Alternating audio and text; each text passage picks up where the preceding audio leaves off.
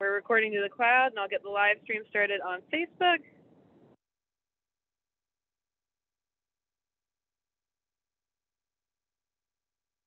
Started. Um, I need to make sure I'm sharing it on SciStarter. I have accidentally shared it on my own timeline before, um, which actually worked out kind of well. My friends and family really enjoyed the event. That being said, this is for SciStarter's audience. Okay, go live. Great. And we are being live streamed. Awesome. And hey, everybody, thanks for coming. We're going to get started in just one minute. I'm going to go ahead and get my screen share together. Um, so let's get this PowerPoint started. We're so excited you're here. We're so excited to be hosting Autumn. Okay, perfect. I'll share my screen. Screen share is loading. Perfect. It is loaded. All right. Hello, everybody. My name is Caroline Nickerson. I'm from the SciStarter team. I'm really delighted to be joining you today for an online Citizen Science Month event. Uh, this program was made possible due to the support of the National Library of Medicine, the network of the National Library of Medicine, and the All of Us Research Program. They're the ones who supported us to get the closed captioners you're enjoying on Zoom in English and Spanish, as well as the interpretation into Spanish. Um, so if you're watching live on Facebook right now, it's not too late to come join us on Zoom. You can find the event on our website um, on citizensciencemonth.org so you can enjoy the closed captions and interpretation. That being said, if you are watching on Facebook, don't be shy. Put your thoughts, your feelings, your questions in the comments. We'll be monitoring that live stream as well and posing your questions to our special guest today, Autumn Gertz from Outbreaks Near Me. Uh, that being said, before Autumn introduces herself and talks a little bit about the Outbreaks Near Me Citizen Science Project, we're just going to briefly go over what's going on with Citizen Science Month. So yes, like I said, my name is Caroline. I am an advisor at SciStarter, but first and foremost, I'm a citizen science enthusiast. So you might be wondering, what is citizen science? It goes by a few different names. At SciStarter, we'll, we'll work with people who call it citizen science, community science, neighborhood science, public participation in scientific research. As long as people are doing real science, we want to work with them. Ultimately, citizen science, how we think of it at SciStarter, is as a collaboration between scientists and those of us who are curious, concerned, and motivated to make a difference. Or another way to say it is citizen science allows anybody and everybody to turn their curiosity about the world into real scientific impact. Most often, you're collecting or analyzing data for citizen science researchers. So, data is just information. Data can be words or pictures that you take of your community to document climate change. Data could be, uh, you know, numerical measurements like temperature or inches of rainfall.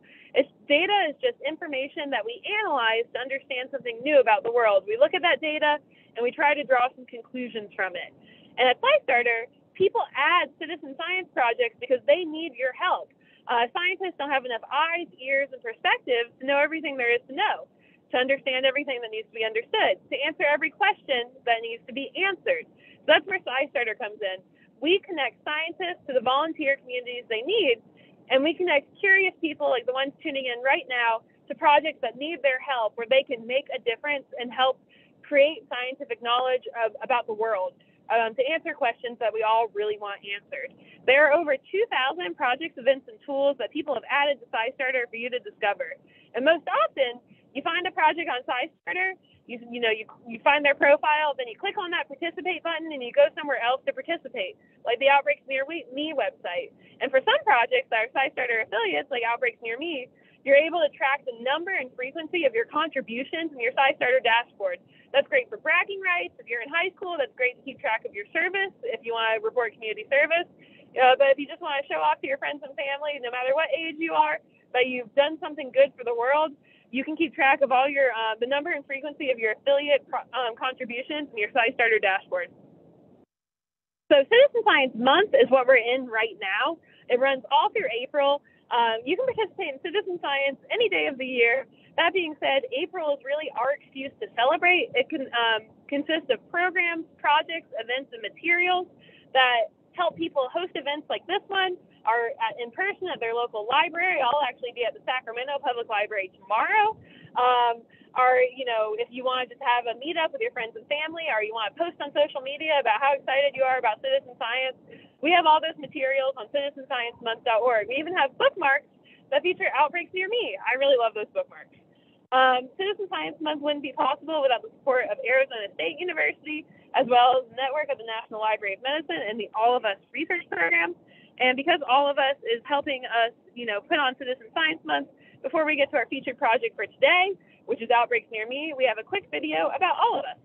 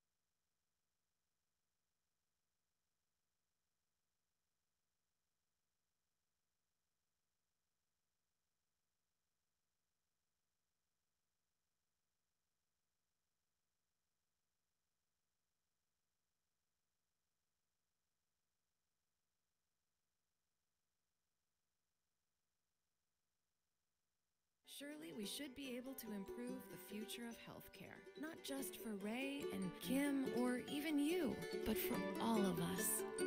Sign up at joinallofus.org. The future of health begins with you. Meet Ray. Ray.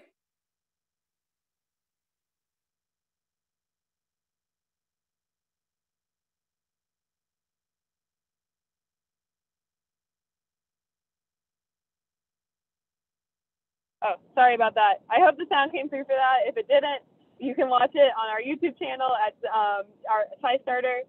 Uh, it's on our Facebook page. It's all over the place. But anyway, citizensciencemonth.org is where you go to find all the awesome citizen science that you want and need. Um, and it's where you can help scientists answer questions they can't answer without you.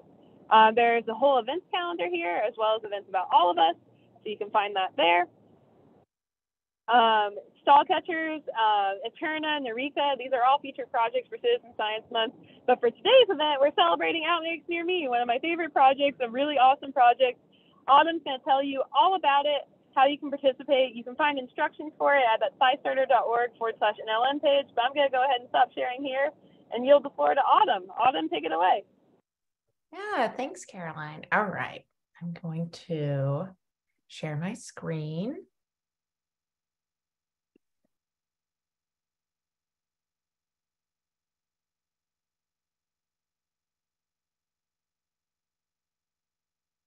That a second. All right, are the slides coming through? Yep, they look good. Great. Um, so, hi everyone. Uh, today I'll be talking about outbreaks near me. So, I'm Autumn Gertz. I am a project manager with the Computational Epidemiology Lab at Boston Children's Hospital, the group that developed and hosted um, and currently hosts outbreaks near me. I have a master's of science in epidemiology from Boston University, a bachelor of science in microbiology and public health science from UMass Amherst.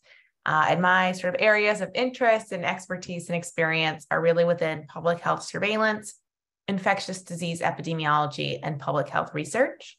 Uh, within the computational epidemiology lab at Boston Children's, I manage outbreaks near me, which is why I'm here today talking to you all. Um, and what that entails is really managing the tool itself, as well as uh, projects and um, research efforts that come out of the tool. So firstly, what is participatory surveillance? Um, this is also known as crowdsourced surveillance. Um, and, and what that is, you might hear me use both terms uh, during the chat today. And what that is, is it's voluntary reporting from the general public that provides data to visualize and track current and potential hotspots of disease. Uh, there was just a bunch of examples of different types of citizen science projects. So ours specifically uses voluntary reporting to track disease, but there are other things that can be tracked through participatory systems as well. And why is participatory surveillance important? Early detection and early response are key to preventing the spread of any disease. Self reporting symptoms in real time can complement traditional tracking while providing useful information directly to the public. So, we're able to supplement sort of your more traditional measures of disease, which I'll get into a little bit more detail um, but something about our site that we think is really great is that our volunteers get data back. So they're able to see who's sick around them uh, and, and sort of the national level, what's happening down to their zip code, what's happening to learn uh, if they should be changing any of their behaviors or just aware of any diseases going around. And lastly, traditional surveillance generally does not detect instances of disease that do not involve an encounter with a healthcare entity. So I think a lot of us have had an illness that while we didn't feel great, it didn't feel severe enough that we needed to seek our doctor, uh, which is very common and good that the disease is mild, but that means that those cases are not detected by traditional surveillance. And then we might be undercounting um, what's actually going on in the disease landscape. And then that might inform precautionary measures or different guidances. If, if we're not aware of the actual rates of disease, we can't um, best prepare. So there is international crowdsourced surveillance platforms across the globe. Uh, I'm highlighting just a few here uh, that we work closely with on our team. This includes uh, flu tracking in Australia and New Zealand, as well as influenza net in Western Europe. And then you can see outbreaks near me. Um, here we have the US and Canada as we have reporting for both those countries. We also have reporting for Mexico uh, but some of our features are not enabled in Mexico right now uh, due to differing regulations on the national level. So you can see it's sort of all around uh, the world, and, and we work closely with these groups to improve respiratory disease surveillance, um, especially in the past few years. A lot of these sites were developed for flu surveillance specifically and then pivoted to capturing COVID. Uh, so we navigated challenges uh, of that um, collectively. And if you want to see sort of all of these sites in one spot, you can go to Global Flu View. There's a URL I'm located here. This is hosted by Ending Pandemics, uh, which is a group we work very closely with. And this takes the data from outbreaks near me. You can see in the US from influenza net, not much going on in Europe when I took the screenshot, as well as Australia and then other countries like Thailand um, that have citizen science and participatory surveillance systems. So you can change time, change the view, but sort of see all of these international participatory surveillance systems for respiratory disease on one uh, map and visualization. So specifically about outbreaks near me, it's a crowdsourced syndromic surveillance system for respiratory disease. Uh, we're primarily focused on flu and COVID-19 currently. Though when I get into the data a little bit more, um, I'll describe some other symptoms we collect as well. And then the data captured helps support disease surveillance, as mentioned, and this includes symptom data, healthcare utilization, testing, and vaccination. Um, I pulled this number earlier this afternoon. So we've had over 7.2 million unique data points entered into outbreaks near me since March of 2020. Uh, so it's a really robust data set when you're looking at it, and we get some really great reporting. And I think what's um, uh, really good about outbreaks near me and really exciting about the project is is novel surveillance systems like outbreaks near me complement existing surveillance by providing real-time estimates and detecting non-care seeking cases that might be missed by traditional public health surveillance. Uh, i'll give examples of both of those from our data in a little bit but presented here is a disease burden uh, pyramid that was actually modeled for flu. And you can see sort of the widest making up the biggest portion of the pyramid at the bottom is infected and asymptomatic. and then symptomatic self care. So those individuals who are sick, but it doesn't feel severe enough to go seek care. Um, everyone under that line is not detected in traditional surveillance for the most part. And that's the majority of individuals who are sick. Uh, and that's where we're able to come in and complement existing surveillance as existing surveillance or traditional surveillance methods really capture the top part of this pyramid, the medically attended, hospitalized, and death cases of illness. So a little history about outbreaks near me. Uh, some of you might be familiar with Flu Near You. Uh, this was our first crowdsourced surveillance system for flu that was launched in 2011. It's actually launched with the movie Contagion as like promotional material, but also a citizen science project um, to go along with that movie. And then we leveraged the technology of Flu Near You in March of 2020 to launch COVID Near You as a sister site, uh, which was doing crowdsourced surveillance specifically for COVID 19. We realized pretty quickly maintaining two sites that were capturing very similar data um, just for different syndromes and diseases wasn't the most efficient. Uh, so in December of 2020, we launched Outbreaks Near Me, which was crowdsourced surveillance for flu and COVID 19. And we really use the technology from Flu Near You and its history, its data, and its rich um, reporting population, and then combine that with the newer technology of COVID Near You to have the outbreaks near me um, that we see today. So, how does it work? Individuals can sign up to get weekly reminders via email or text um, directly on the site, as well as you can sign up uh, through SciStarter and have it located in your dashboard there. Um, individuals report if they feel healthy or sick. Uh, they can also report on household member health. So this can include partners, spouses, roommates, siblings, children, parents, grandparents, anyone who's living in your household who you are privy to their health, how they're feeling, and also have their permission um, to report on their health. You're able to, which really helps us uh, get some really great data, especially for our younger in older populations, if we're just recruiting one person from a household and then we get data on five people, uh, that really enriches the data set. Uh, sick participants report symptoms, any care seeking or diagnoses, and then all our participants report if they've been tested for COVID, their influenza and COVID 19 vaccination status, and then gender, age, race, Hispanic status, and zip or postal code. And looking at our little computer here on the screen, um, this is one example of a view of visualization you can see on outbreaks near me. So I mentioned that our participants get data back to them as well. Uh, so you can see these pink dots show COVID symptoms. There's orange dots in here that show flu symptoms. You can toggle on other symptoms, which is purple, individuals who report not feeling well, but it doesn't really classify as flu or COVID. And then our most popular response, which is no symptoms, you can put that on. Um, there's also another layer on the map. The back, there's a grayscale you can enable that shows the sort of traditional surveillance or official case count data uh, for the area. So for flu, it's at the state level. For COVID, it's at the county level. Um, so you can see sort of how the self-reported data compares in your area to the official data that's being reported at that time. So, our healthy survey. Um, healthy data is really important. I think a lot of people know they should report in when they don't feel well, uh, but they don't understand as much why reporting when they feel healthy is important. And this allows us to calculate relative measures in our population, such as rates and proportions of illness. It also helps keep our users engaged. You know, most of the time, hopefully, people are feeling well. So, making sure they're still reporting so that when they don't feel well, we are able to capture that.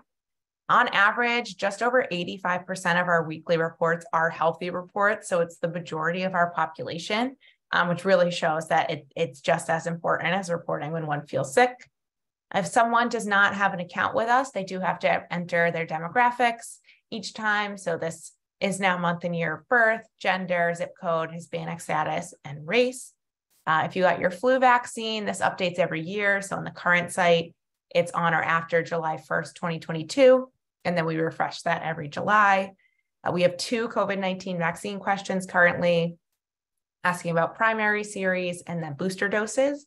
And then we ask individuals a bonus question of if they've been tested for COVID in the past 30 days. Uh, we ask the type of test and why they got tested and the results. And this really came about um, especially with home testing. When it came out with asymptomatic home testing is something it was very hard to get data on uh, that we were able to capture. And then our unhealthy survey. So, what do people contribute when they aren't feeling well? Uh, for symptoms, there's a variety I'll get into on the next slide a little bit, but you select your symptoms, when you started feeling ill, if you sought care, how long, any testing, any diagnoses, any treatment. And this data supports infectious disease surveillance efforts for public health agencies, including CDC and state and local health departments, and this data also supports research efforts to understand disease activities and patterns. So what is the data we collect um, really for these surveillance work uh, and the research? So symptoms, as I mentioned, we primarily track respiratory illnesses, uh, COVID-19 and flu, but we also have whole body symptoms, digestive symptoms, other. Um, so this allows us one, if there's a new for example, COVID variant that comes out that has changing symptomology. This allows us to track that. But two, it allows us if any new or emerging issues come about, it might not be a respiratory disease. Uh, last spring and summer, we were looking at rates of rash being reported when Mpox was coming out, uh, things like that. So while we're focused on respiratory illness, we do try to collect sort of systemic uh, symptomologies. And then moving on to care seeking, we ask when they started feeling ill, the type of care testing, which includes that they didn't seek care, uh, and how long after they started feeling ill did they seek care, so we can get a sense of how long are people sick, potentially c- contagious, or other things before they decide it's time to seek care. And then for testing and treatment, what type of medical test did you receive, if any? We've added at home testing in that. Um, if you received a diagnosis, what was it? We've actually added RSV uh, since this slide was put together. And then if you got a prescription, what type of prescription did you get?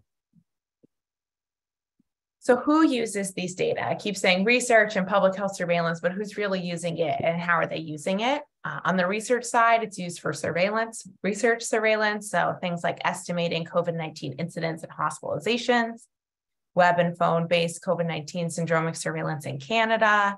Uh, we've done a lot of work with care seeking and testing. Uh, we had a lot of work last flu season looking at at-home testing uh, use in the United States, uptake, and then continued use. We also looked at delayed medical care and underlying health during the pandemic. And then a lot of different other topics, including the association between mask wearing and lower COVID 19 risk. On the public health side, we work with federal, state, and local public health agencies to help supplement and complement their data uh, for respiratory illnesses on the federal level, we work very closely with some folks at CDC. State level examples are the California Department of Public Health, Massachusetts Department of Public Health. Uh, we've worked with Virginia, Minnesota, Florida, a bunch of others as well. And then local, we work very closely with the city of Boston, and we also have a very good collaboration in the King County, Washington area, uh, the greater, greater Seattle um, area. And what do we actually support? Surveillance and public health efforts a lot of flu burden estimation. Going back to that pyramid where we see most people are either asymptomatic or caring at home. Uh, so helping state and federal and local health departments assess how much flu is actually circulating and then estimating COVID 19, including home tests. So, what cases are we missing in our surveillance, official surveillance, traditional surveillance um, with at home testing of COVID 19? So who is reporting into outbreaks near me? So we do have uh, sort of two groups uh, that report in our registered users. These are individuals that have signed up for reminders, have created an account. Um, we do get sort of the most data capture from them, but that's also because they get their weekly reminders um, to report in. These individuals, their demographic information is saved, so they have quicker reporting. And these are also the folks that are able to report on household member health. We also have guest users, individuals who want to come in, report the minimum, minimum necessary data, excuse me, and they report as they want to. Um, we have seen sort of with peaks in, in illness, both in COVID and flu over the years, we do get an increase of guest users when there's a lot of disease circulating, people aren't feeling well, they want to report that, but they don't necessarily sign up to report when they're feeling healthy as well. Um, since we have pivoted from flu near you and COVID near you to outbreaks near me, our numbers have been increasing, which is good to see. Um, but we do want to bring over all those users that we had in our previous systems. So in 2021, we did an assessment and found that over 80% of our users had contributed to Flu Near You. So it was a pretty good carryover of our Flu Near You users. And then in 2022, we actually saw this go down to 70% of our outbreaks near me users had contributed to Flu Near You, but this was positive uh, because our overall numbers and outbreaks near me went up from 2021 to 2022. So that meant we were getting new users uh, to the system who had never used Flu Near You rather than losing our Flu Near You participants. Uh, the COVID 19 pandemic presented a situation where people were more aware and invested in disease surveillance and disease tracking, and we were able to leverage that to get a lot of new individuals and, and people who generally weren't as focused on either citizen science or on disease surveillance specifically to get engaged with a platform like ours. But we're always trying to get more participants. The more people we have, the better our data is, uh, especially when you get down to your location. If there's 500 people reporting in your zip code, your data is going to be a lot more rich than if there's three people. Um, with that said, we, we want our data to better represent what's occurring in the US and as a whole. And for that to happen, the individuals reporting in need to reflect what the US looks like as a whole. I think a lot of citizen science projects um, attract certain groups of people, people really interested in science, really engaged, really passionate, uh, which I am, which I'm sure all of you are, which is wonderful.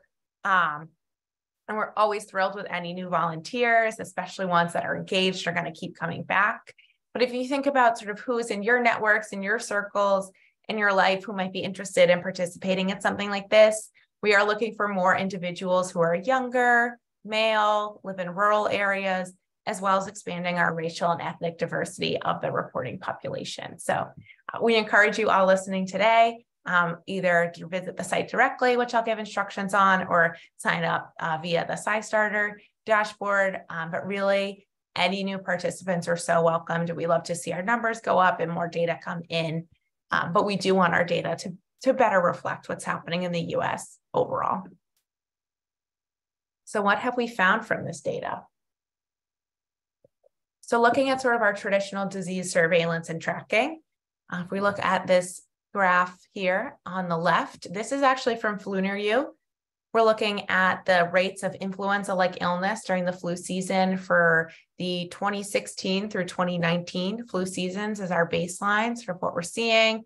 Uh, starting out the flu season, a little over 2%, going up to almost six, and then coming down to two. And then this line here is the 2019-2020 season uh, with COVID emerging in the middle of this season. And you can see this decline starts in February and then a sharp decline in March, leveling out in May. And then in our 2020 2021 season, we really didn't detect a lot of influenza like illness, uh, which aligns with what was found in a lot of other systems, both crowdsourced and uh, traditional surveillance, that flu really wasn't circulating in the 2020 2021 season. Uh, looking at sort of how real time data can be helpful.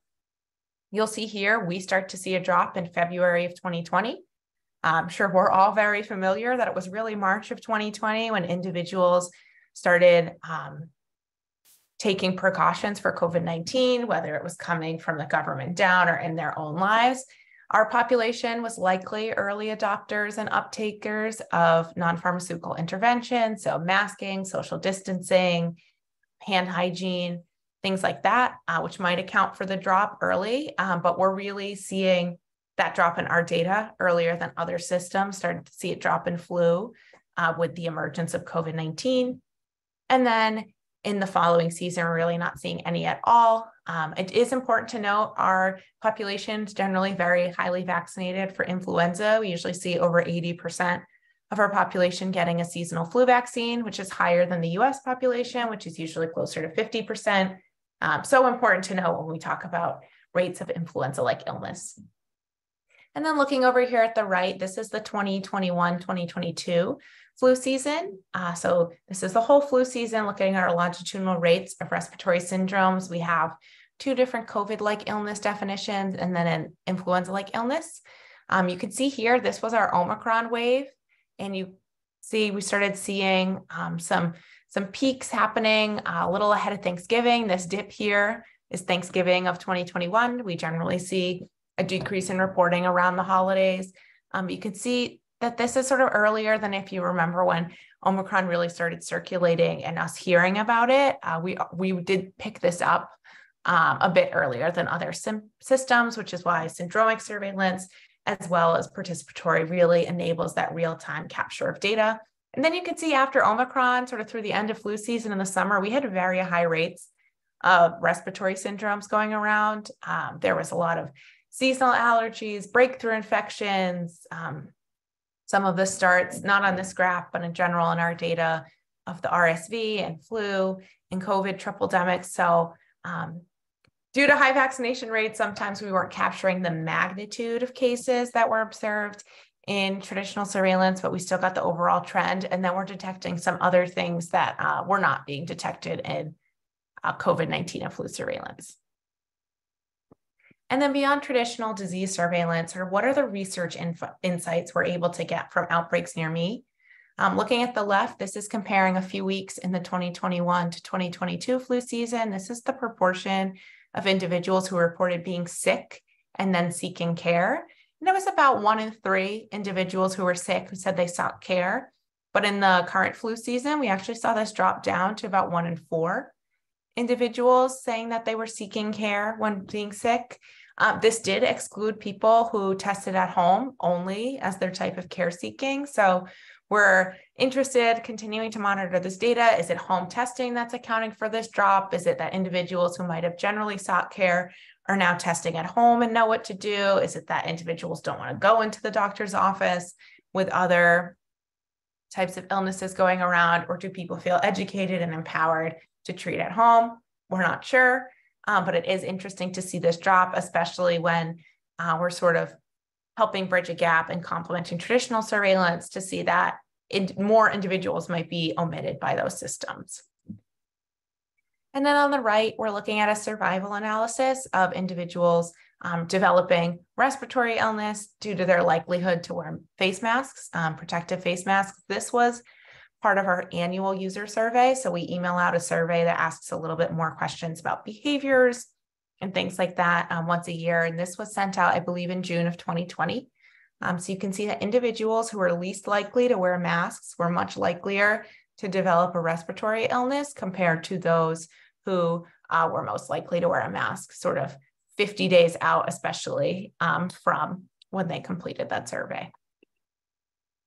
So here, I just want to highlight the out outbreaks near me, its results, its data have been featured in a variety of places, including um, public health meetings and organizations like the Advisory Committee on Immunization Practices, who gives out the guidelines for vaccinations in the US, um, as well as a variety of scientific journals and news stories. And the most important question to get to today um, how do I participate? You can go directly to outbreaksnearme.org create an account with your name or a nickname if you don't want to use your name. We just want to know what to call you um, in our communications, email, and a password. And then you can submit your first health report. If you're interested in reporting how you're feeling but don't want to create an account just yet, you can also submit a report anytime without creating an account. This is what our joined form will look like. But as mentioned at the start of the conversation, you can also go via SciStarter if you want to track your contributions there. If you have other citizen science projects there, you can join Outbreaks Near Me through that dashboard and report that way as well. And I will leave that for any questions. There's my email if anyone wants to reach out. There's also a general email for Outbreaks Near Me that our whole team has access to if you have a broader question. But I think we can turn it over uh, to Q&A. That was awesome. Thank you so much, Autumn. Um, I know I already have a bunch of questions, so I'll get us started. And then people, I, some people are watching on Facebook, so Facebook friends, please put your questions in the comments. And if you're watching on Zoom, we really, really do encourage you to ask questions as well. But my first question is, um, so you you mentioned that the there are people who contribute again and again. What do you think drives those people who keep coming back? Yeah, so we we ask them because we want to know um, consistently we see that people want to know when individuals around them are sick they want to know what's happening around them uh, we get a lot of individuals who who join uh, who are sort of the gatekeepers of health for their households. Uh, they're the ones knowing what's going on, making sure their families are safe and healthy. So they like to know what's going on around them. We also see that people really care about citizen science and disease surveillance and want to help um, contribute to those types of projects and that type of data. That's awesome. Um, and I love how you all have become outbreaks near me that, you know, I used to participate when it was just flu near you. I'm curious, like, I know early on in the pandemic, people were often confusing or falsely equating COVID and the flu. Do you see people do that in the app as well, or have people kind of learned by now, like, what different symptoms mean what?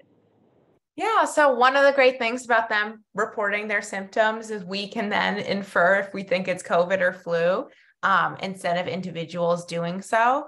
Uh, I will say we are doing analyses now to try to come up with a more precise definition to separate those two, especially with the data we have from this past flu season where we actually saw flu circulating again. We now have rich enough data that we can try and separate those out uh, syndromically. But collecting the um, testing and diagnosis data really helps because we can see what symptoms were associated with a positive flu test, what symptoms were associated with a positive COVID test and that helps us on our end. Um, we do sometimes get participants that'll email in and be like, I felt this way. I thought I had COVID, but it's negative, or turns out it was flu. Um, so I do think, given how similar those two um, infections can present, uh, there's still sometimes confusion on, on, what you might have from a symptom standpoint. Uh, but thankfully, we're able to do some of the inference for them. I love that. And do people ever get educated by doing outbreaks near me? Like, do they learn to tell the difference? I hope I I don't know if they learn to tell the difference in themselves. Um, we do stay away from providing direct medical guidance, um, but we try to provide resourcing. So, what to do if you have a positive at-home test? What's the difference between flu and COVID? What are the different types of vaccines? Those types of things. So I think um, our participants sometimes follow their own journeys when they're sick a little differently when they're reporting it to someone uh, than they would otherwise. Or sometimes we get sort of follow up emails about if there's a household that gets sick and how it's sort of spread through their household and things like that. Awesome. This is good. This is really good. I love what you, the work y'all are doing. This is awesome. We have a question in the Zoom from Elizabeth. She wants to know should we respond to the reminder emails and out of the country, or will that create an accuracy by not reflecting my correct location? Yeah, so uh, we associate your account with a zip code, or we ask you to submit a zip code when you submit a health report. Um, so if you're somewhere else in the US when you're reporting, you can actually change your zip code um, for that time. Or, you know, if it's a one week vacation, maybe you skip that week. Um, but we do sort of want to know exactly where you are so it doesn't skew the data to national level. It can really give um, sort of what's happening in your local area. Awesome stuff. I love it. Um, and then I'm also curious. So, Autumn, I know you've been in a leadership role with these projects for a while. Um, is there anything about this work that has surprised you? A lot. Um, I feel it's really interesting to see the differences in like the population that's interested in this throughout time versus folks that get interested when a lot is going on. And you know neither is better than the other. It's just sort of different interests and, and passions. Um, but like i said when we see those high rates of guest reporters when there's a lot of disease going around it's it's interesting to see that people seek us out or report to us when they're feeling sick when they're worried about sickness around them but don't really uh, think about what's happening around them from a disease perspective um, when there's not sort of a big outbreak. Uh, I think the other thing that's really surprised me is sort of how quickly home testing became a very important part of people's like personal COVID protection and journey. Um, and now has very quickly like gone back down. Uh, I think a lot of people, myself included, like I have a drawer full of expired at home tests that I just have sitting there. Um, but it'll be interesting to see as we head into more of a respiratory season if home testing for COVID picks back up, if home testing for other respiratory diseases becomes more popular, if certain pharmaceutical companies sort of saw how it worked for COVID and feel like it's worth the investment uh, for flu or other respiratory illnesses. That's really interesting. Um, oh my gosh, we got a bunch of questions in the chat um, related to what you were saying about home self COVID testing. Brent wants to know with so few people doing home self COVID testing and of those testing positive, so few of these positive COVID self testers are reporting their results. So, how accurate are the COVID numbers being reported? Yeah, so I think the official COVID numbers have historically probably been underreporting, um, but that's a bias we've always been aware of um, with disease surveillance. With the introduction of home testing, I think that bias got more profound, and a lot of the work we were doing was trying to help certain groups estimate what their actual case counts were when we included home testing cases that weren't reported elsewhere. Uh, so we did some of that work with the CDC. We did some of that work with Massachusetts Department of Health and some others. Um, but this is one of like at its core, outbreaks near me is syndromic surveillance, and this is where um, reporting symptoms becomes really important because when we look at our COVID like illness and our influenza like illness, it's not an official case count. But if we're seeing a big jump up in people who are experiencing COVID symptoms, but they're not testing or they're not reporting it, we can infer like there is a lot of COVID probably circulating. Here are things that, and we can sort of inform our partners who have a little bit more boots on the ground um, to amp up what they're doing to try and help get official numbers where they're supposed to be. Good stuff. And speaking of official numbers, to summarize some of Brent's other questions, where should people go if they, you know, want to stay up to date on, you know, best advice, best practices, current numbers, what's going on in their area?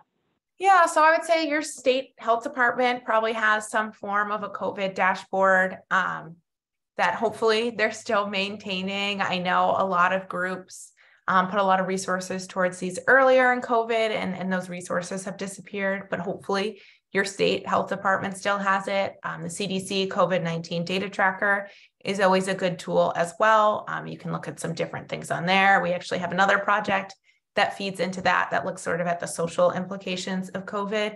Um, and we also link out to some resources on our site for folks as well. That's awesome. And then um, he, uh, you may not know this one. This is kind of a big one because public health is so different in different places in the states. Uh, but what are public health officials currently doing to make to address respiratory illnesses like COVID and flu? Yeah, I I feel like there's a pivot that's happening sort of in some of the communication back to seasonal respiratory illness, um, which works until we have something that's not seasonal again. Um, I I do not envy individuals who have to sort of make guidance for public health or communicate these things out. It's incredibly challenging. Um, there's always a balance between what you think really should be happening and what you think people will comply with.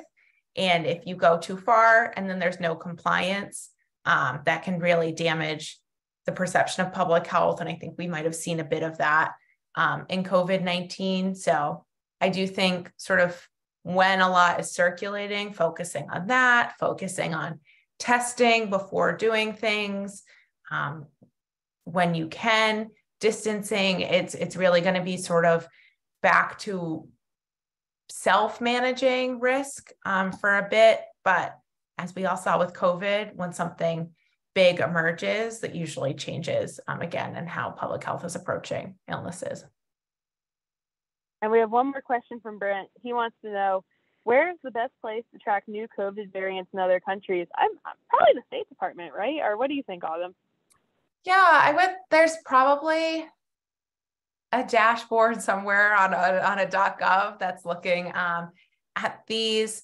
Um, there's probably some groups as well um, who have I think there's a group out of Oxford that looks at like the genomic sequences of some of these. Um, so I would turn to some of the academic groups that sort of stood out earlier in the pandemic. Um, there's the group at Hopkins. I think there's a group at Oxford as well.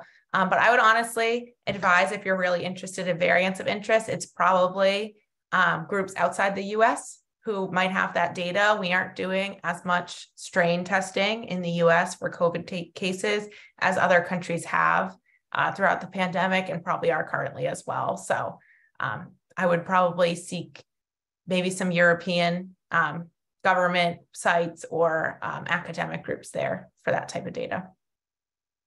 Good stuff. And another question from Brent. He wants to know where's the best place to follow vaccine research results regarding COVID vaccines and side effects that were reported over time?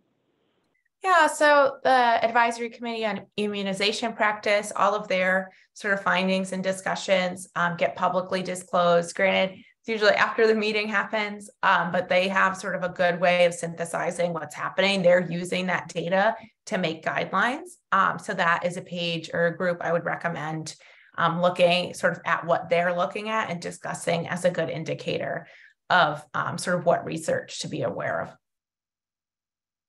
Fantastic. And then I have another fun question for you, Autumn. Mm-hmm. Um, what part of this work excites you the most? Excites me the most. I am um, very excited to get back to the roots of like consistent surveillance and reporting and research. Um, in a non emergent situation, we'll see.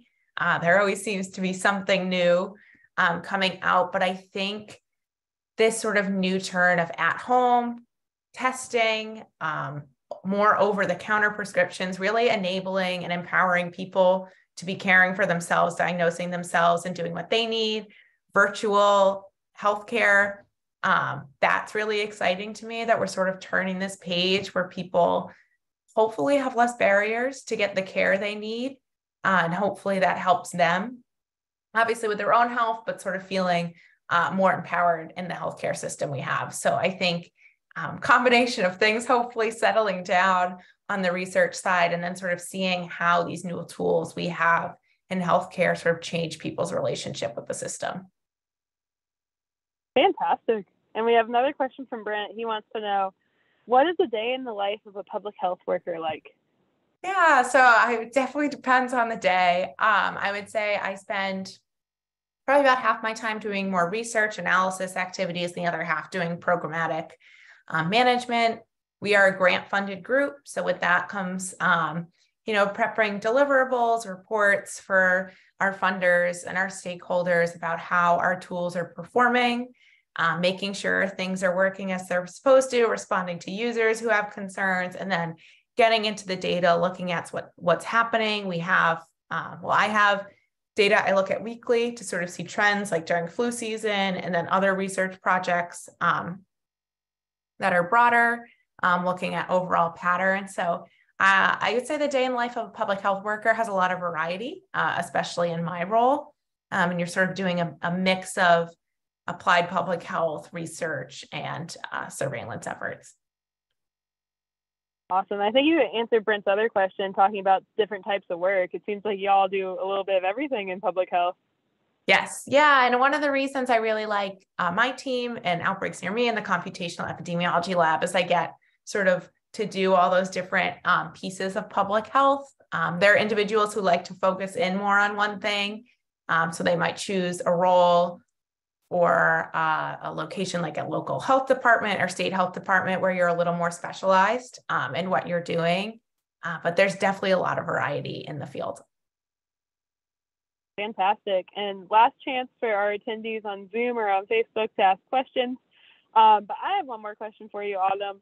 What's something you haven't told us yet that you think everyone should know about outbreaks near me?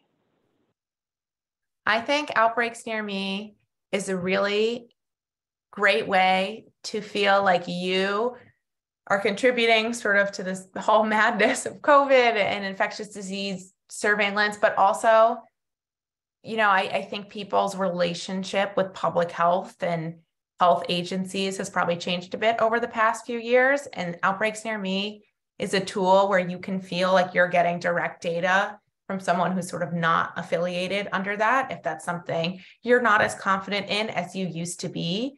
We do work very closely with state and federal health departments, but at the end of the day, we're our own organization. People are reporting in how they feel. We're letting them know how people around them feel. And it's another tool you can have in deciding sort of how you want to approach your day or your week or your month when it comes to disease and sort of managing your own risk for infectious disease.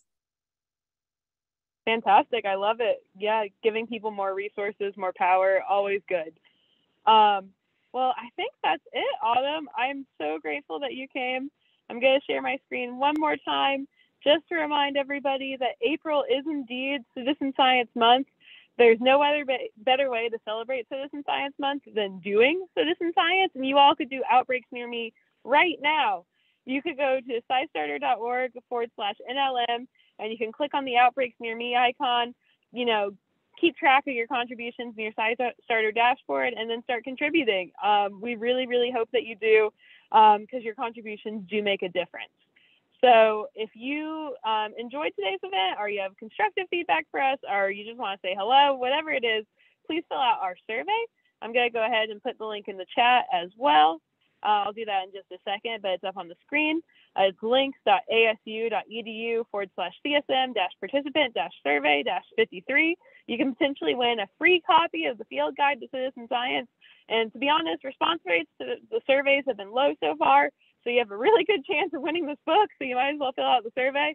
Um, thank you again to the Network of the National Library of Medicine, the All of Us Research Program, and Arizona State University for their support of Citizen Science Month. And most of all, thank you to Autumn for educating us today about outbreaks near me. Thanks to our interpreter uh, for interpreting today's event in Spanish, our captioners for captioning in Spanish and English, and if, um, for all of our attendees for caring about citizen science and wanting to make a difference. We really, really do appreciate you. Autumn, anything else to say to us before we go?